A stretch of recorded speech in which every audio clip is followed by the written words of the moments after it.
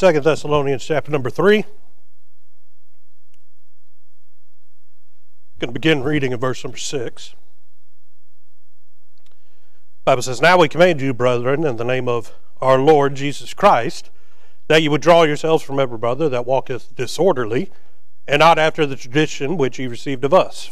For yourselves know how you ought to follow us, for we behave not ourselves disorderly among you. Neither did we eat any man's bread for naught, but without labor, but wrought with labor and travail night and day, that we might not be chargeable to any of you not because we have not power, but to make ourselves an ensample unto you to follow us. For even when we were with you, this we commanded you that if any would not work, neither should he eat. For we hear that there are some which walk among you disorderly, working not at all, but are busybodies.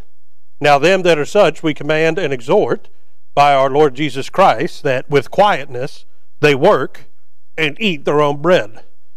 But ye, brethren, be not weary in well doing. Now, we had to read a couple of verses today. It may take us a while to eventually arrive at the thought, but we had to read all these verses to get the context. The Apostle Paul writes to the church at Thessalonica, and really, chapter number one, he's giving them basically an update on what's happened with him since the last time that he was in Thessalonica. Chapter number two has to deal with the rapture and how some people in Paul's day had been teaching that the rapture had already done happened, that we were in the last times already. Well, if you go read and study chapter number two, you're going to find out rapture hadn't happened yet. He says that there's still a couple of things that had to happen for them, and there's one thing that we're still waiting on, that hadn't come to fruition. What's that? That by the grace of God, he's decided that he's not going to have the rapture yet. Right? He's waiting on some to get in. Right? Until the Antichrist comes on the scene, rapture not going. I mean, he said, right? Rapture will happen when it's time for the Antichrist to be revealed. That, that not today. How do you know? Church still here. Anyway, uh, chapter three. He deals with starting in verse number six. And before this, there was a little bit that he was covering, but don't have time to get through everything, so we had to pick and choose. Okay, starting in verse number six. He says, Right now we command you, brethren, in the name of the Lord Jesus Christ. This is not a suggestion.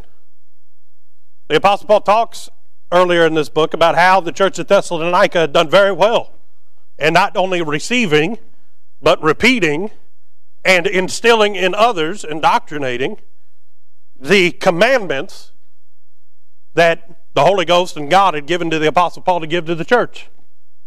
He says, What you learned, you've done well. He said, You haven't turned from it. You received it as what it really was the Word of God. He said, You didn't see it as an opinion of Paul or Silas or Timothy, you know, whoever it was that came by their way to preach to them. He said, You received it as the Word of God as a true commandment. And then in chapter number three, he says, But we have a new commandment. He says, This I command you. Right? And if we're honest, this isn't new, as in the Apostle Paul just came up with it on the day that he was writing down this letter.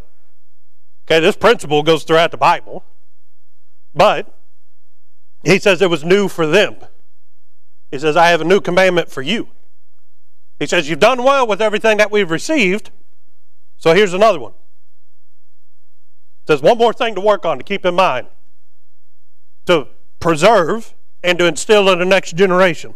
Okay, he says, not by himself, but in the name of the Lord Jesus Christ, that you withdraw yourselves from every brother that walketh disorderly, and not after the tradition which you received of us. He says, being disorderly is a problem. He doesn't say to kill those that are disorderly. Hallelujah. But he's not saying to ostracize, he just says withdraw from them. You know what that word withdraw means? Just means separate yourself. Doesn't mean to leave them stranded on the side of the road. That word withdraw has the connotation don't let their disorderliness affect you. I mean, we, we all know the phrase misery loves company. Right? If you're miserable, you want other people to be around you so that they too will become miserable. If you're disorderly, guess what you want? You want somebody to cut loose and be disorderly with you. Right? Whether we realize it or not, either we're having an impact on somebody else or they're impacting us. Either they see something in us that causes them to either change what they're doing or continue on what they're doing, make that decision, or because of us being around them, we're going to change the way that we're living. He says, disordered breeds disorder. That's, not, that's nothing new. I mean, we can go all the way back to the beginning. Right? Eve's disorder. Guess who that impacted? Adam. And you know why? Because Adam decided he wanted Eve more than he wanted God. I mean, that's what it boils down to. That decision was made to be disorderly. Why? Because God had one order for them don't eat of the tree of the knowledge of good and evil. You can eat everything else, but don't eat that one. There was disorder. Adam didn't want to withdraw himself from disorder, so he made himself a part of the disorder. Okay, well, let's continue. Verse number seven, he says, For your, yourselves know how we ought to, for yourselves know how you ought to follow us. For ye have behaved, for we behaved not ourselves disorderly among you. He says, You want to know how you ought to act? Act how we acted. He says, Do things in order. We showed you what order was. Is it not? Written in the Bible that things of God should be done in decent and in order. That the commandment from God from the beginning has been things of God should be done orderly, not in confusion, not in a ruckus, not haphazardly thrown together and hoping that everything sticks.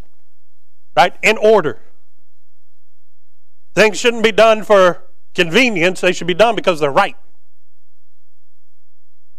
You know what disorder looks like? Disorder is when people come in the door and not talking about people in the crowd. I'm talking to pastor. The people that are sitting there, nobody knows what's going to happen. If it's disorder, everybody confused. Now let me give you the contrast to that. Not saying everything needs to be scheduled out. Right? There are times that we come in the door and we had all intentions on singing a congregational, but the Holy Ghost show up and congregational never gets sung. That's not disorder. That's just called God changing the plan. Because when the Holy Ghost does it, guess what? Everybody's on the same page. It's orderly. When the Holy Ghost does it, doesn't matter who's singing. All that matters is that Holy Ghost wants you to do something. It's time to do it. Whatsoever He said, do it. Then I promise you, if the Holy Ghost tells you to do it, it's never out of order. Don't know where that came from, but you're welcome. He said, do what you learned to us. Now, around here, we know what it is to be in order. Right? Every now and then, something around here, you know, it's not very often. I'm talking like, oh, hang on a second here. I got to go back in my mind and figure out how long. Last one I can remember is about a year and a half. Right? Something crazy off the wall happened. Guess what? Pastor shut it down. Y'all may not have recognized it, but Growing up, I knew what happened. Right? I saw what, what something disorderly is about ready to happen. Pastor shut it down. Didn't happen. Okay, hallelujah. We got a man of God like that that's got enough discernment that when God says, hey, we don't need none of that, he kills it. Okay, but doesn't happen much around here. You know what the point is? When it comes to the things of God, do what you've seen around here. We've been instructed well. We've had good examples of people that just want to come in and worship God. We've got good examples of people that when they go out into the community, they behave orderly.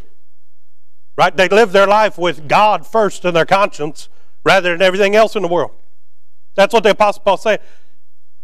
He said, We weren't perfect, but we behaved ourselves orderly. He said, We did everything above board. Well, why? Well, he goes on to say, in, I think it's verse number 10, yeah, for when we were with you, this we commanded you that if any would not work, neither should he eat. For we hear there are some of you which walk disorderly, working not at all, but are busybodies. He says, This is what you've become. Not all of them. He says, There are some. Well, in verse number 9, he says, You know why we acted the way we acted? He says, Not because we have not power, but to make ourselves an ensample unto you to follow us. He said, We never asked anything of anybody. Verse number 8 Neither did we eat any man's bread for naught, but wrought with labor and travail night and day, that we might not be chargeable to any of you.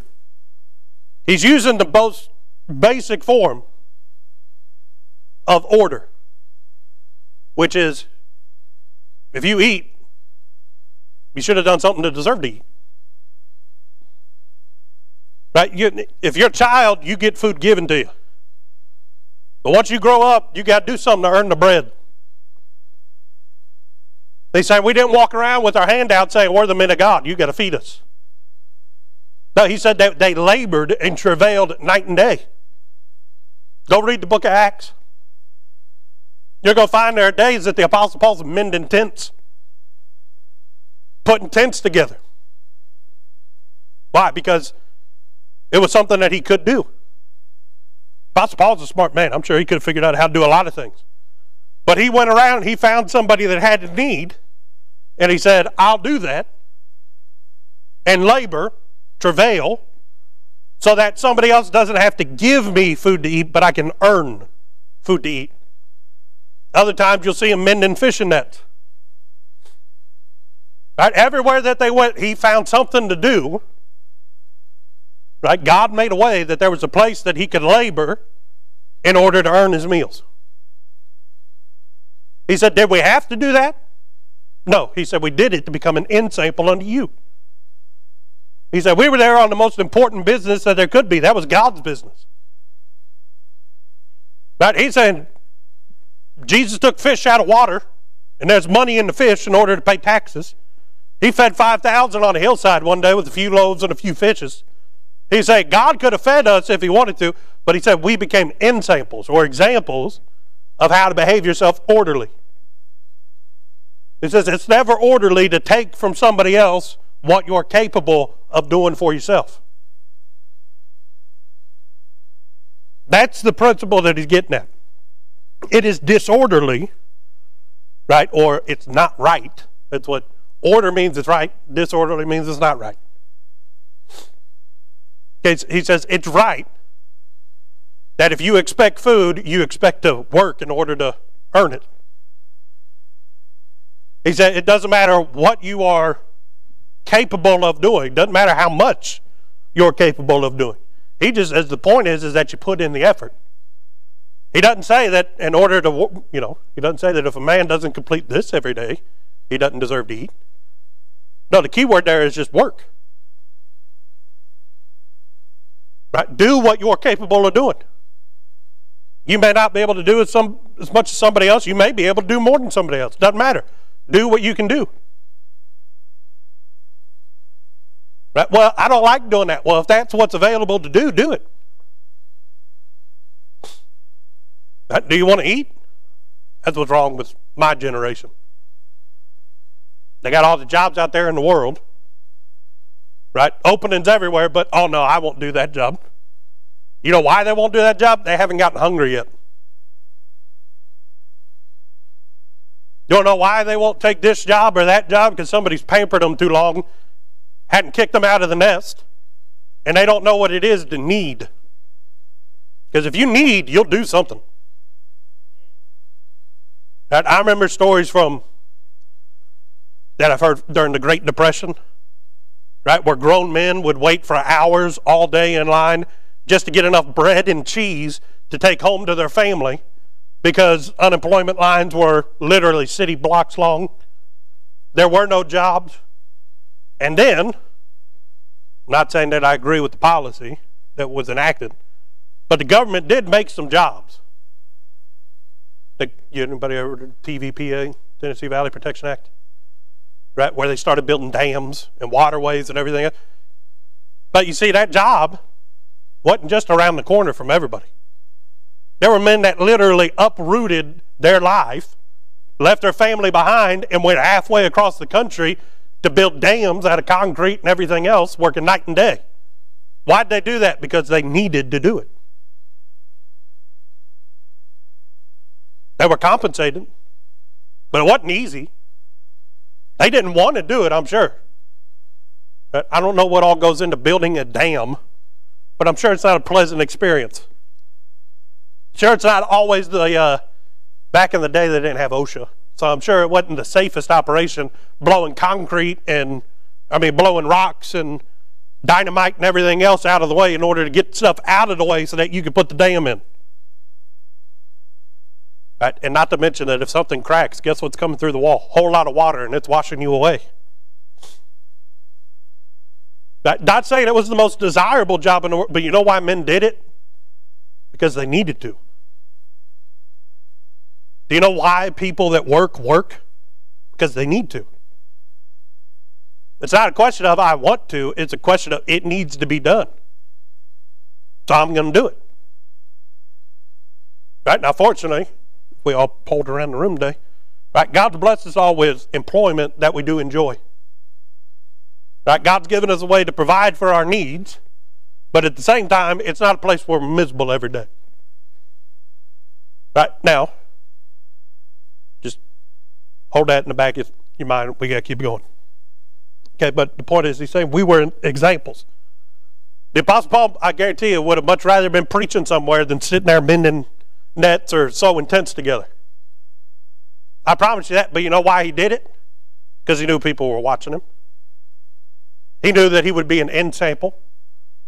And he didn't want to be chargeable, is the word that he used in our text, towards any of them, meaning that somebody else would be able to say, Well, you were capable of doing it, but you took it from me instead. That, that would have tarnished not only his reputation, but that would have tarnished the entire purpose or the impact of the gospel in that area. Everybody looked at him and said, That guy's just a freeloader. Well, verse number 11, he says, For we hear that there are some which walk among you disorderly, working not at all, but are busybodies. Well, I was reading this, just hit me. A busybody somebody that's busy but never getting anything done. Look, working not at all, but are busybodies. He said some are working, but some are busybodies. You know what work accomplishes? Something gets done. Right? If you're working, something's accomplished. He says, but some are busybodies. You know what that means? They're not accomplishing nothing. They're busy, but they're not doing anything. There's no point, there's no end result of what it is that they're doing. Then he goes on to say, Now them that are such, we command and exhort by our Lord Jesus Christ, that with quietness they work and eat their own bread. Then he goes on to say, But ye, brethren, be not weary in well doing. He says, Some people are working, other people are spending all their effort and energy doing something. But instead of laboring, what are they doing? They're running around and checking to make sure everybody else is working. They're checking to see if this person did as much as the other person. The Apostle Paul says, hey, knock all that off. He says, get to work or go hungry. That's what he says. Well, he goes on to say, but ye, brethren. Who's that? That's those that aren't busybodies. He says, but ye, brethren, be not weary in well doing. He says, I know that there are those that are disorderly. He says they're running around, they're trying to stick their nose in your business, and that keeps you from being able to work as well as you would, uh, you know, want to. There's nothing that I hate more than somebody who has no business talking to me, doesn't want to talk about that. They just don't want to do their job, so they come over and talk to me, trying to distract themselves for a while. Drives me up the wall. I'm trying to get something done. Go waste your own time. Now, if it's somebody that I do do business with, and they come up and ask me a question, or they're like, hey, you remember when we did this? That's still working. That's getting something done. I'm talking about busybodies. Somebody that wants to make it look like they're doing something to the boss man, but all they're doing is wasting both of our times. Right? Those people get on my nerves. Why? Because I was in the middle of something, and the way my brain works, until I get it done, it's all I can think about. And I'm chomping at the bit to get back to what I was doing. I want to throw things at them and tell them to go away, but apparently you can't do that. It's in the employee handbook. You have to be courteous to others. Right? But, he says, Ye, brethren, be not weary in well doing. He says, I know you're working. He says, and I know that there are busybodies. He says, but don't let the busybodies get you so far down that you stop working. He says, there's always going to be distractions.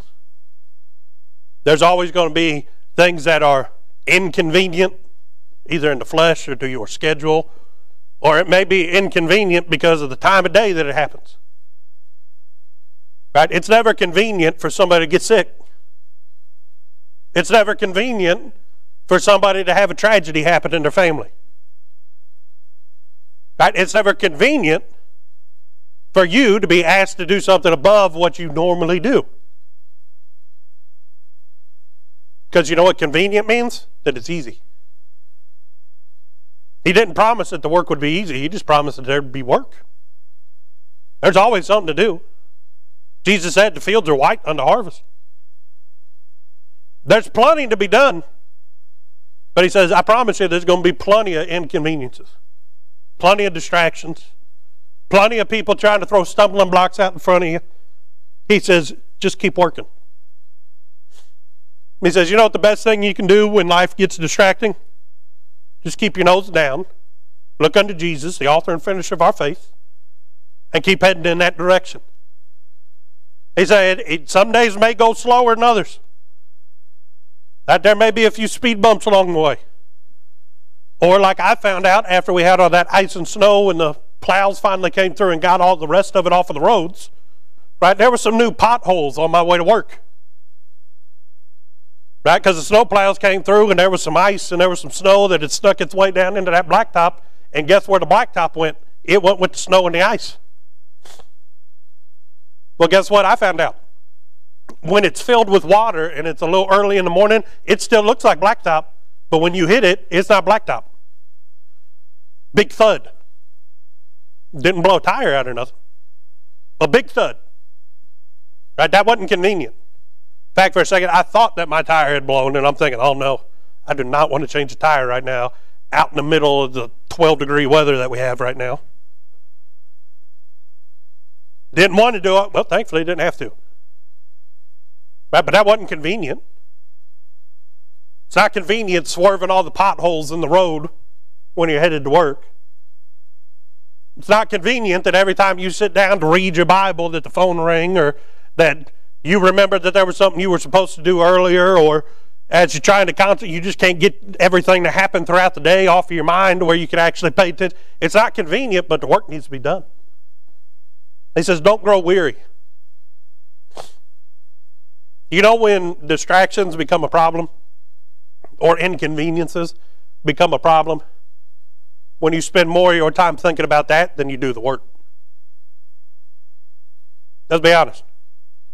Some people in here are very safe. When they drive and the phone rings, they ignore it. Okay, I, I imagine that there are very few of those people in this room. But if the phone rings, some people ignore it. They don't let it have an impact on what they're doing right now. Right? Other people will swerve through three lanes of traffic trying to reach into the seat to get to the phone in order to answer it. And then other people have this thing on the steering wheel that they know if they hit it, it'll answer the phone, but they never figured out how to use it. So then they spend 30 seconds hitting every button on the steering wheel, and they're still not looking at the road while they're driving. But what are we saying? Some people get the work done. Other people get distracted, and all they can think about is this instead of what's going on in front of them. And then other people still are trying to do, do what they're supposed to be doing, but their attention's drawn away from it. Well, how do you know that? Because they're looking at the steering wheel, hitting all the buttons. Right? Trying to figure it out like a PlayStation controller. It's not that easy. There's a little phone thing and it's green. If you hit that one, you're good. And then there's one next to it that's red. If you hit that one, it makes the phone stop ringing. Well, what's the point? That's how life is. Some days you're able to keep driving, just tune everything else out. You're able to say, we'll get to that here in a bit. That's not important right now. Because whether or not you realize that you're driving a 2,000 pound bullet, and it's more important to keep that thing in control than it is to answer the phone. Other people could care less about the responsibility that they have for not killing people when they're driving down the road, and they want to answer the phone.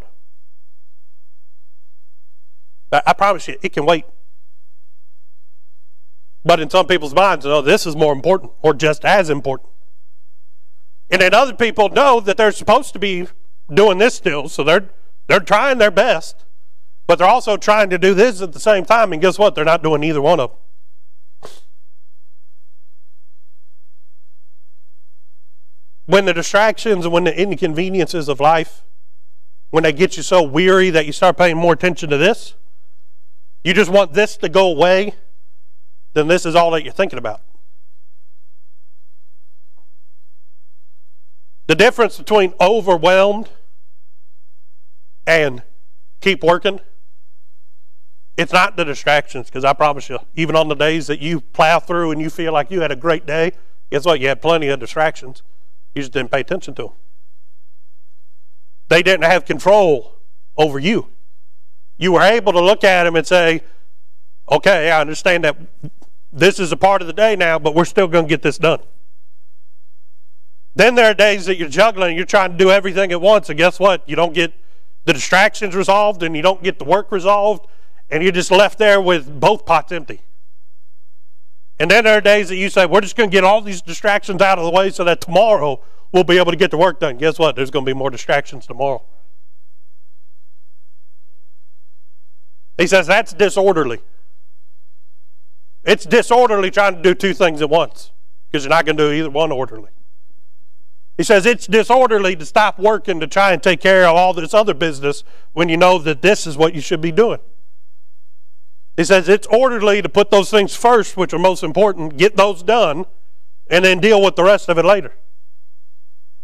But when weary really means is that we get tired of everything else that we stop doing the work. He says, weary and well doing. We know that what we're doing is important. It's well doing. We're doing well.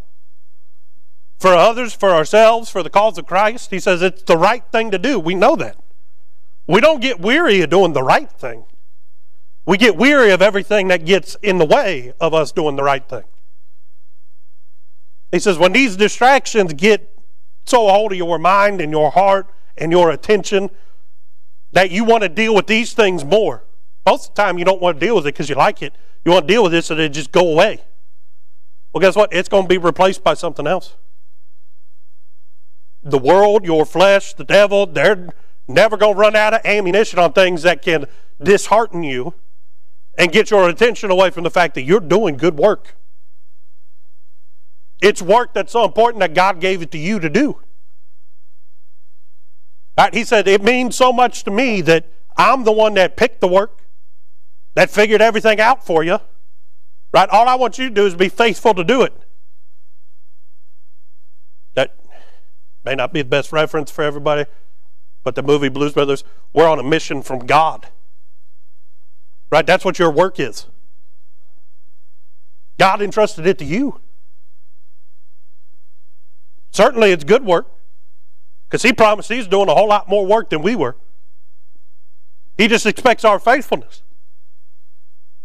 Let's be honest, we love doing things for the Lord. We love being involved in the things of the Lord. But what keeps us from doing it? Distractions. And really, they're only distracting when they make such an impact on us that we get emotionally attached to getting them things resolved.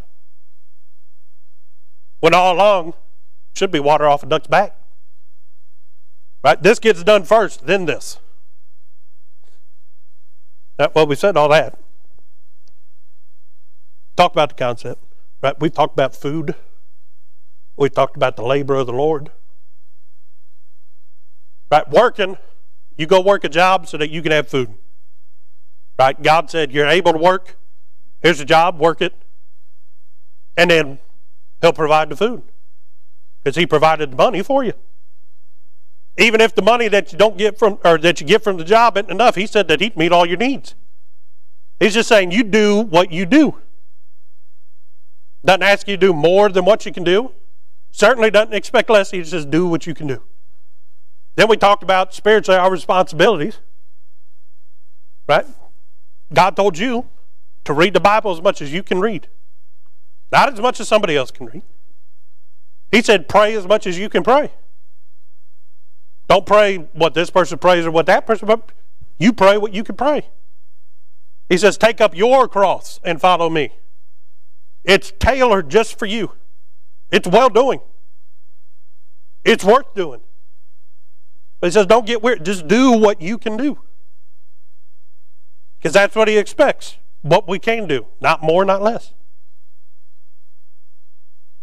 But then, as I was reading these verses,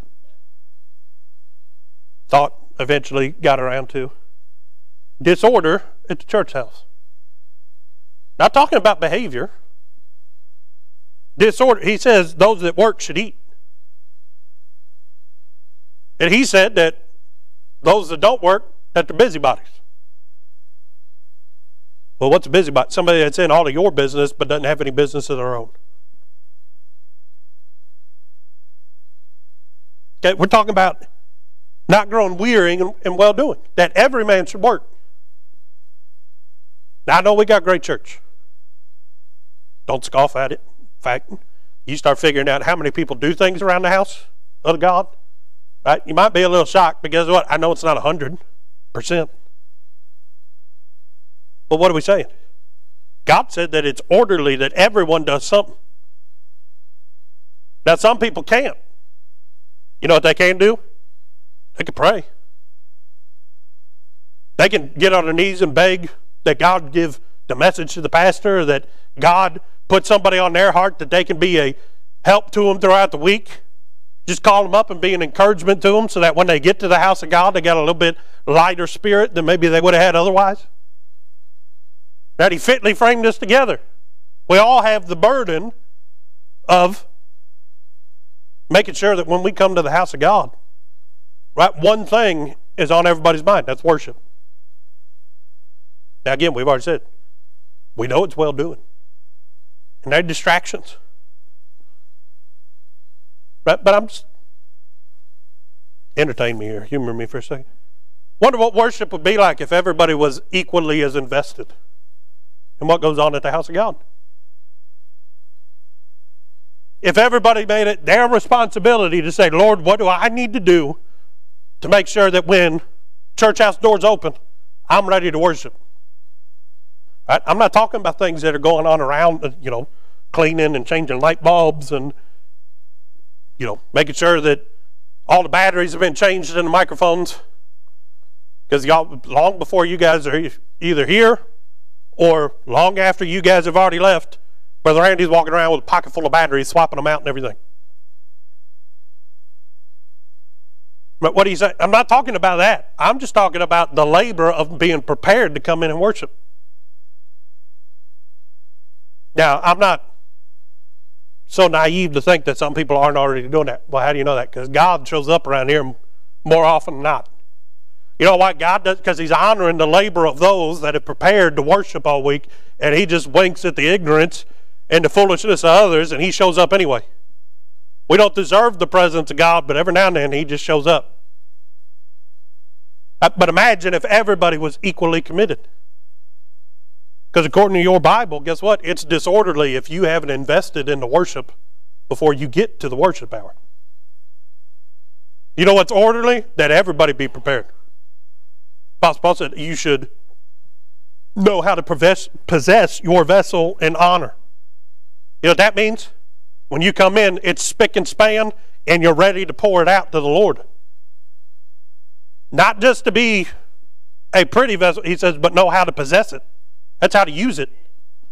Well, what's a vessel for? For filling up and pouring out. He says, you know what's orderly? That everybody that works gets to eat. Does he? God's long suffering and he's merciful. And he shows grace. I'm glad on the days that I wasn't prepared to worship, that when God showed up, guess what? He let me, get, you know, get in on the worshiping. But he doesn't have to. Imagine if the only time that you got something out of one of the services was when you were prepared, when you walked in and done everything that God had asked you to do throughout the week in order to be ready to worship. Because guess what? The only thing that we deserve is what we've labeled, labored for. He's saying, there's some, they're busybodies. They may be involved in everybody's life, but they haven't done anything to labor for themselves. They may know everybody else's business in the church, but guess what business they haven't tended to? Theirs.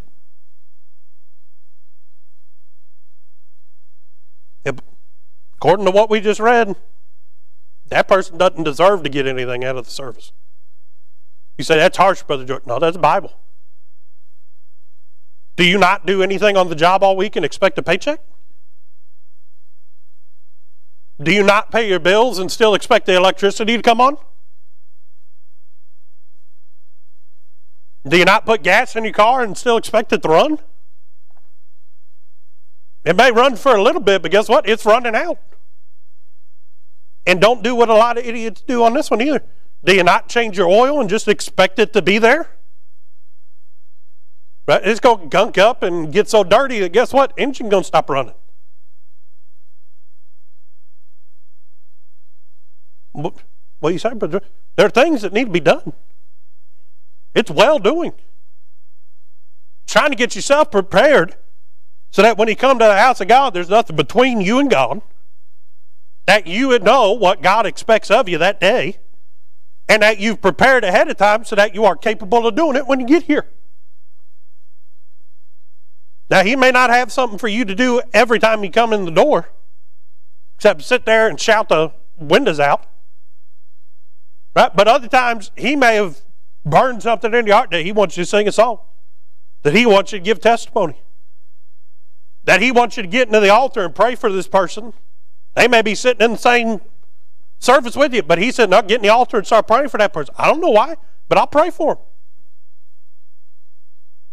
Well, we get there's well doing to be done. Not everybody do, does it. Guess what? If not everybody does it, that means that there's only so much food to go around. Not because God can't pour it out on us, but because God rewards faithfulness. What did he say? He said it was disorderly. And again, what is disorder? It's wrong. Orderly things are right. Now, some people have gotten a routine down. They can come in, they can look all nice, they can sit there and they can be dignified, and they know when to shout, they know when to raise their hand, and they've got everybody else fooled, but guess what? They're going out empty because they didn't come in with anything. They didn't labor throughout the week. God may still touch their heart. They still may get something out of the preaching, but guess what? They're not walking out with much bread. Because you know what the busybodies in this time were eating? They were eating the leftovers of everybody else. Not right, according to your Bible, for a man to rob from his own children to give to a stranger. Right? To take food out of the mouths of the children in order to give it to somebody else. So what's he saying? The labor that's been done for me and those that I'm responsible for, they eat. They're going to get full, and then what's left over, the busybody gets it. By implication, you know what that means? The busybody is not full when they leave. Then they're going to be complaining that they're hungry. Well, then go and do some work. They don't want to do work. They want to be in your work. They want to stick their nose in your business.